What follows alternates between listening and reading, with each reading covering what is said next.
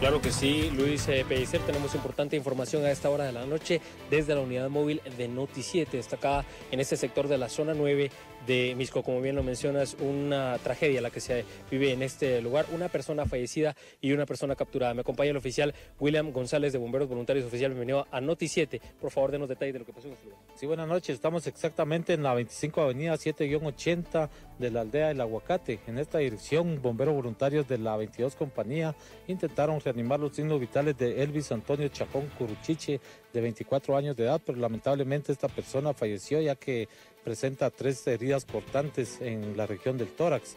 Ya se ha dado aviso a las autoridades correspondientes, la Policía Nacional ya se hizo presente.